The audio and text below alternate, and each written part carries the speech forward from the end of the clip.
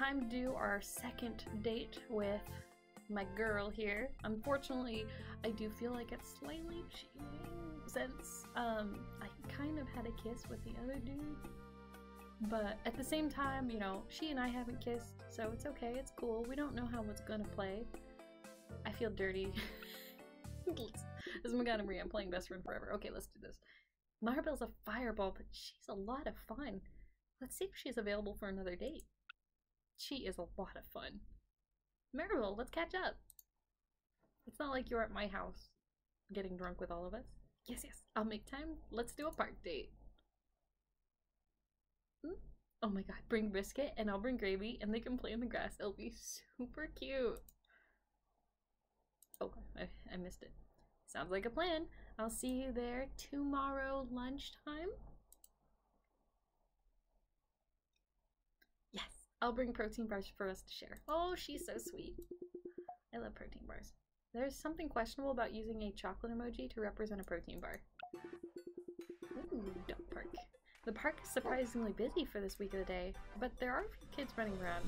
But they're easily outnumbered by the sheer volume of dogs. Why is there no goose sign? Even in such a dog-friendly city, I guess if you can resist the allure of an off-leash park. Even Brisket is struggling to contain his excitement. I know, there's so many dogs, so many smells. I'll let you off your leash once Maribel gets here, just in case. Hey, don't give me that sad dog act. She shouldn't be much longer, I assume. You know what they say about assuming? It makes an ass of you and a Ming? A good 10 minutes pass and there's still no sign of Maribel. Brisket paces around on his leash. 10 minutes is not a lot of time. I've waited an hour for people before. I was mad, but I still waited. Okay, now it's getting worrying. Hmm, I know she said she was busy, but it doesn't seem like Maribel to just not turn up. What if something happened to her? Yeah, I'm worried too, Brisket. Let's give her a call. I whip out my phone, struggle for a moment to remember which folder I banished the phone call app, then call up Maribel. This is so relatable.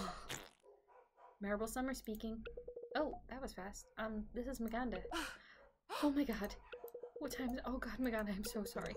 I got completely held up at the construction site. I don't think I'm gonna be able to make it. Oh, um, that's okay.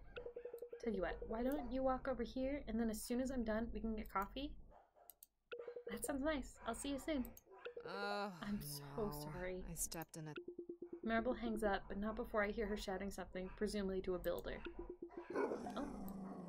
I looked down at Brisket sniffing around at the ground aimlessly. Sorry, buddy. No off-leash time for you today. Bit of a missed opportunity. But I'm sure you can have lots of fun with gravy to make up for it. Brisket and gravy. I arrive at the construction site after a short walk. Maribel is standing out in the open in a heated conversation with the foreman. As soon as I step onto the site, the foreman turns towards us and points. Maribel's eyes follow and she immediately lights up before skipping over. Maganda, thank you so much for coming by. I promise it won't be longer. Look at that dog! Unfortunately, you can't wait here though. We don't have many more hard hats or high vis vests, so you'll have to wait off site. Hopefully I can rack this up. Tickety boo. Is everything okay? Did you really just say tickety boo? yes, I can say old people things sometimes. But admittedly, I'm a bit overwhelmed. I need to collect some documents, but if things carry on here much longer, I'm not going to have time. Unless you wouldn't mind hanging out or helping out? It would, uh, what do you want me to do exactly? oh, so you will? Wonderful. All I need you to do is stop by Sacha's apartment in the Arts District. Your neighbors, right? He should have some documents. Just tell him you're collecting them for me. And then I'll need you to photocopy them at the library. I need like 20 copies.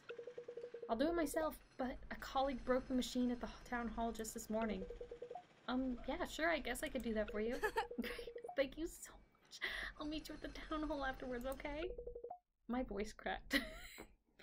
Alright, see you soon. Why is her the phone? I think my game glitched because she's still there. uh, res resigning myself to continued consciousness, I wrap my knuckles and music musically upon Sacha's front door, and within seconds, Sacha's standing before me. His apartment is so cute. Oh. Oh, hey Maganda, what's up? Uh, Sacha, I, uh, um, meant to get something from you? Um, okay. Nope, not poop. Could you be more s- specific? I have lots of things to give. Documents from Maribel. I actually don't know what they're for. oh, sure. It's a petition. Maribel had a lot of problems trying to get some affordable house, high-rise housing initiatives going lately. There's a group advocating to keep Rainbow Bay weird. It's a nice thought that there's a difference between keeping the spirit of the city and actively refusing to address growing housing issues, you know? Anyway, I helped Maribel out by getting people to sign a counter petition supporting the construction of high rises. Hmm, I never knew people were so opposed to apartment buildings.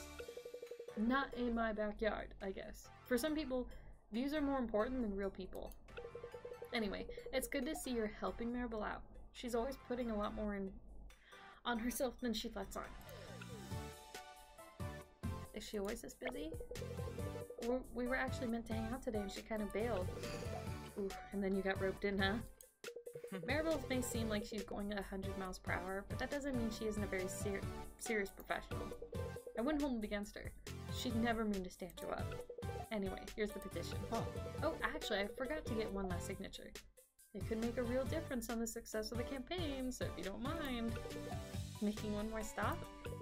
Yeah, just stop by Fox's Tavern and Bar. It's not far from here. Fox promised she'd sign it, but I haven't had the chance to stop by. I thought he was gonna ask me to sign it. Oh, sure, I'll see what I can do. Uh, I'm really worried about this glitch. I hope it doesn't stick around. uh, no, visit Fox. We're gonna do this right. As per usual, the shop is cast in eternal gloom. Welcome. Welcome. Oh, Jesus, don't sneak up on people. Idiot! Be more alert. Why is she so angry and the music is so pumping? Uh, anyway, I came to ask a favor. Nope. Nope. I didn't even say what it was yet. this is business. You'll have to pay. I'm not paying for your signature, Fox. Oh, My signature? I know two autographs. But I could make an exception. For a price. What price? Your voice. No. Fine. What's the signature for? Oh, she was supposed to be like the Little Mermaid and the. Okay. It's for Maribel's petition. Something about building high rises? Uh, yes, I'm familiar. You should have led with that. So, why are you collecting signatures for my dear friend Maribel? Mm, just being nice. Oh, you know, just helping out a friend. uh-huh. Just out of the blue? No context? You're just suddenly helping her? Well, well, I mean, there's context. You like her. You don't know that. Oh my god, I know and everything. I know. Here's your signature. Have a good day. Fox steps backward further into the shadows of the cursed drop, feeling a cold sweat trickle down my neck. I too walk backwards, though towards the door. I have places to be, documents, you know, to photocopy. Is she still gonna be there? Yep, she's still there. oh god, it's stuck. The library is a considerable walk from the arts district. Even Brisket seems a little exhausted as we drag our feet through the door. Huh. Maganda? Help me. But are you alright? Too far? Huh. Someone went too far? What'd they do to you? Walking for an hour. There are water fountains outside. Also, I need photocopies. Oh, sure. We have a photocopier. What do you need? I limply hold the petition out towards Felix, sweat from my head making a section of it slightly see-through. Why am I so sweaty? It was just an hour. Okay, this lightly seasoned document. How many copies? Uh, she said 20, right? Yeah, she said 20. I think it was like 20 copies. Sure, I can do 20. Do you want a copy spare just in case? Oh, that's probably a really good idea. Alright, let's call it 22 copies. Perfect. Thanks, Felix. What are these for, anyways? Maribel, it's a petition for some high rises. Alright, I think Sacha got me to sign this actually. I hope it works out for her. How'd you get roped into helping? Well, we were supposed to be hanging out, and she bailed. It happens. We're supposed to work out together every second evening, but she often has to cancel last minute. Perils of her job, I guess. Hard to say it's her fault. Is it really fair for her to have to lose so much of her personal time for her work, though? well, I mean, probably not, but it's not helpful if we blame her for that. The problem's institutional, but I don't know how to change it. Neither. Anyway, let me get these copies for you and then you can be off. Felix ducks away and photocopies the petitions in record time.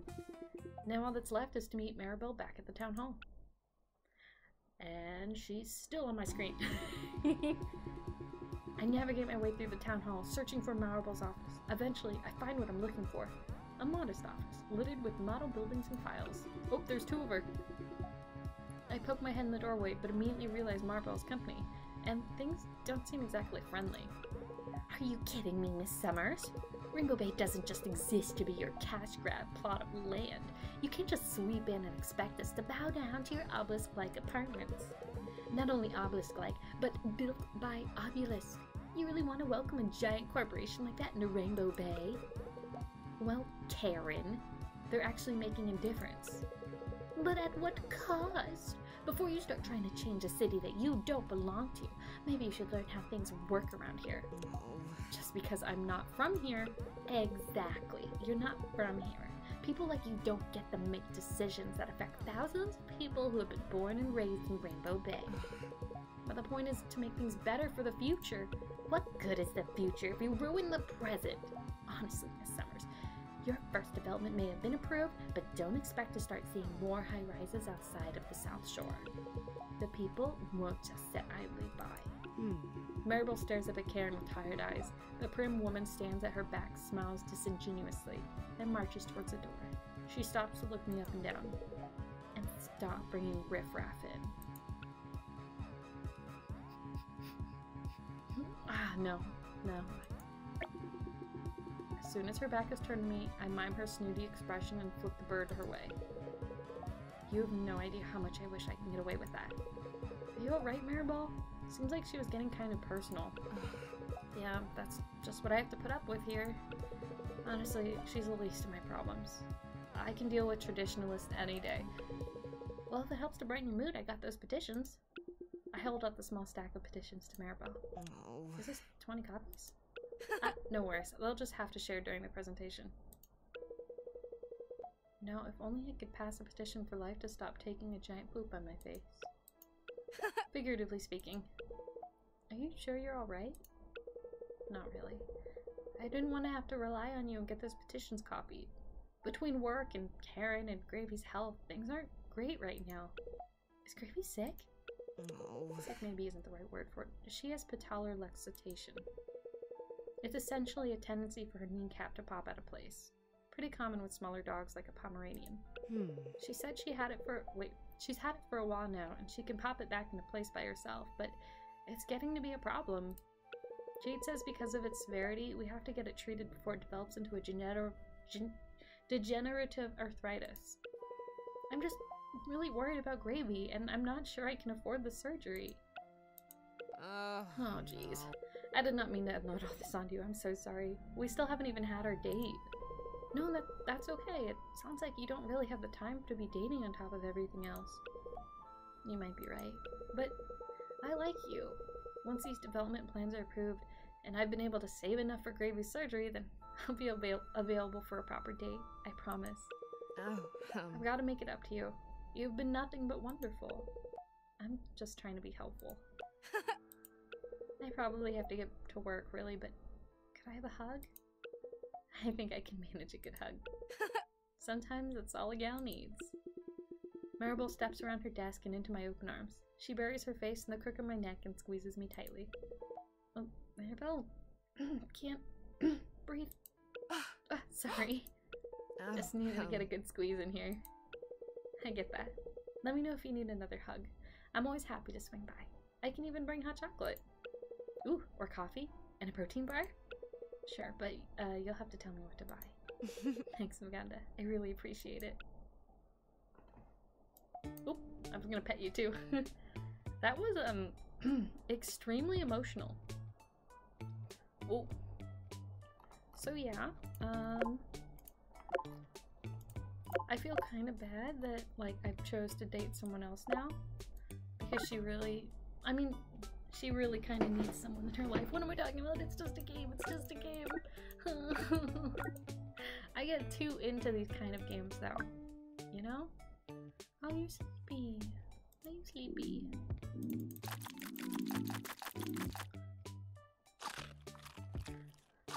so, I'm still gonna try and date the Anders because I want to know more about him. He's really, I don't know why he's just so, you know, spicy. Not in a bad way, not like someone's angry. Spicy is in like, ooh, kind of spicy. I don't know. I need to up your energy. You're sleepy. Let's clean. Oh, clean this here. Clean this here. Clean up this here. Okay. Now you're awake. Um. But I wish I, I would go down her route solely for the purpose of making her life better if I could help her. You know how it goes, you know. Oof. I'm just a softie. Inbox! Noise complaint? You're receiving this email as an owner of appointed tenant of a unit in the Rainbow Bay Apartments complex. Over the past few weeks, we have received a number of noise complaints from some building occupants. Please remember that we have 10 p.m. noise curfew. Uh, um, nothing about me, so I don't think it was me. Obelisk holds the key to your heart. Mm, I have a feeling Obelisk isn't a good person or good company. Woofer dating tip to win their heart. Uh, yeah, no, I'm doing a good job winning people's hearts. It's just, I don't want to win all the hearts. What's my my dog? Let's just do social. Yeah. Nice. Okay. Yes. Yes, please. Oh, I misclicked. Go see Anders. A few drops of rain fleck the apart fleck the pavement at my feet, and I stare regretfully at the closed shop door. Hmm. Traditionally, you have to open them first. and hello to you also, Brisket. I wanted to pick up some new plant pots, but I forgot they were closing early today. Do you think I could just break in and leave the money on the counter? You do remember that I'm here, right? of course. I actually don't know what he said, I just guessed. I'll need to see more evidence. Perhaps you can come up with a less dramatic solution to this pot problem? Mm. Mm. My ferns can be returned to nature. Perhaps it's time to let my precious ferns grow up and be returned to the wild. At their age, they should have already had jobs and responsibilities of their own. Oof, actually, I'm feeling a bit targeted now. Well, we all feel like plants sometimes. Hungry at the whims of greater forces. Desperate to put down roots. I can't tell if that was a joke about the bedroom or some very deep fizzle off fizz, fizz commentary. can't it be both? We've boned. They're making jokes because we've boned. I suppose so, yes. That was very flirty, I think. Either way, I'm giving far too much thought to joint owning an affordable plant family. And another date. this is my second date. Hopefully this will go, you know, the first date is always fun.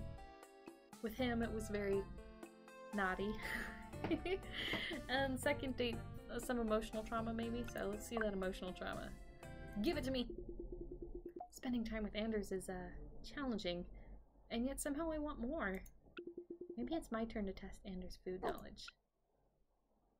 Anders, you showed me your food world, now it's my turn.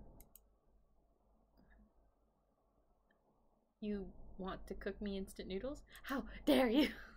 That's harsh, but fair. The Burger Festival is on. Let's pick a restaurant and go, go, go! Hmm, interesting. I get to pick the restaurant though. Well, wait, no, that's that's not the point of this.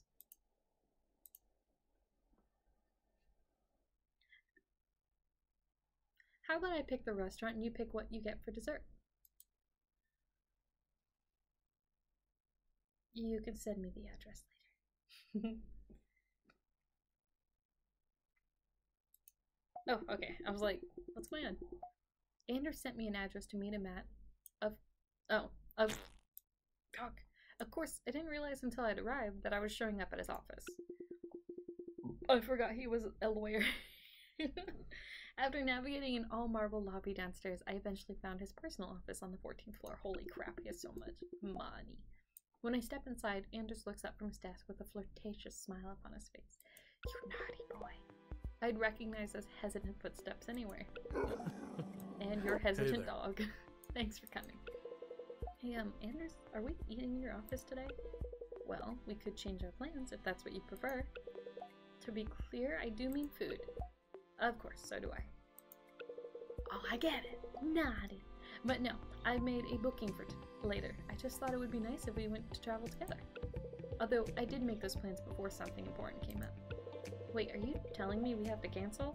You couldn't have said that before I trekked out here? Not quite so drastic. We just need to make a stop at the hospital on the way there. The hospital? Is someone hurt? Well, technically the mother would be yes. A client's, chi- a client's child has just been born. It's a surrog- surrogacy case. Oh, babies? Not a fan of children? As long as no one asks me to hold one, I might drop it. No holding the baby. Got it. Anders stands up from his desk and stretches, his back clicking loudly. Hemingway bolts upright from his bed by the desk. Oof, if I remember those kinds of clicks from my office days. It's worth it for an office like this. Do you like it? It's huge. So big. well, yes, I get that a lot. Shall we? Was he talking about his office? the hospital is only a short walk away. On the way over, Anders walks with his large hand on the small of my back. His touch is as warm as ever. It's only as we enter the hospital itself that he pulls away quite suddenly. In fact, he's standing straight and moving his head around erratically. Are you looking for something? Oh, just wondering where my client is. Probably the maternity ward? Yes, yes, of course. Let's just, uh, make haste. Are you okay? Of course, when I'm with you. But really, we should go before. Hmm. Oh, that's right, she's a nurse. Oh, where'd my mouse go? There it is. Well, if it isn't Anders Hamilton, the biggest flake of Rainbow Bay. Never mind. And hi, Maganda. I hope you're having a good time among the sick and elderly. Uh, Robin, how are you? Oh, you're actually interested now? I'm doing just fine. That's wonderful to hear. Perhaps you could point me towards the maternity ward? now there's some irony. Follow me. What? What is with these two?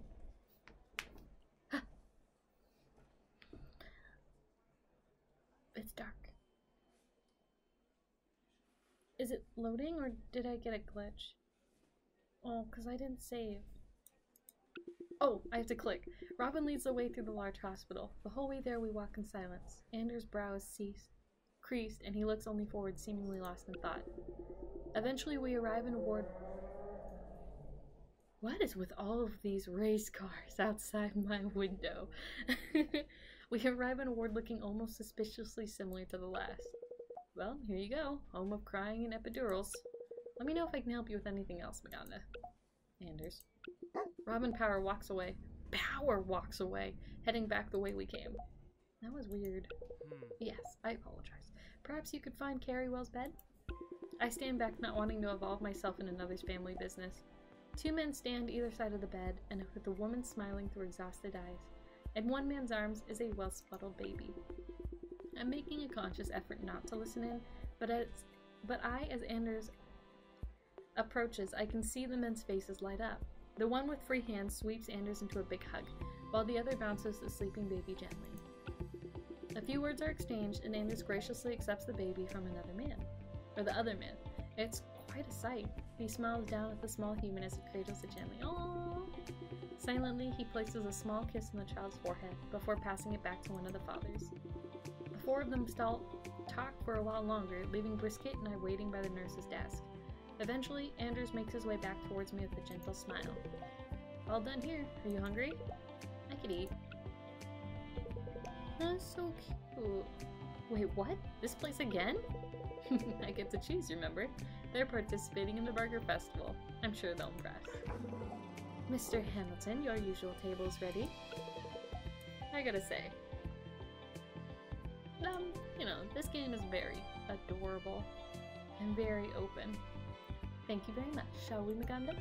Anders takes my hand and guides me through the restaurant to the same table as last time. He pulls out my chair for me before taking his own. You're very polite, aren't you? You should know by now that's not necessarily true. Ooh, I just mean you pulled out my chair and you uh, always address your emails so formally. You're saying I'm old fashioned? Not at all. Well, I mean, kind of. Don't worry, I know how to surprise at the right times. Oh god! Everything he says is like a double entendre! Anders winks at me and plays over the waiter. You ready to order? Yes. No degustation today. We're here for the burger special. Well then, that won't be long at all. Can I recommend a wine to complement? What do you say, Maganda? Cocktails. Wine me, dine me. I appreciate that you're willing to challenge your taste buds. Excellent choice. The waiter walks back towards the bar, leaving Anders and I sitting in relative silence. I look over at him and he realize he's staring at me, almost expectantly. A small smile plays upon his lips. What? You have a very nice aura. But what? Your presence. There's something about being around you that feels very intoxicating. Thanks. You, you're very. uh, enigmatic. I, I want to say sexy, honestly, but enigmatic. I feel like there's a lot more to you than meets the eye. Oh, well, I wouldn't look too closely. I promise. I'm showing you my best side. Alright, enough embarrassing flirting. Tell me more about yourself. What would you like to know? Okay, this video is getting a little long.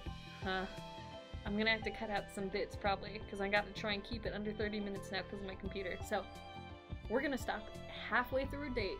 I'm so sorry. So, uh, see you in the next video.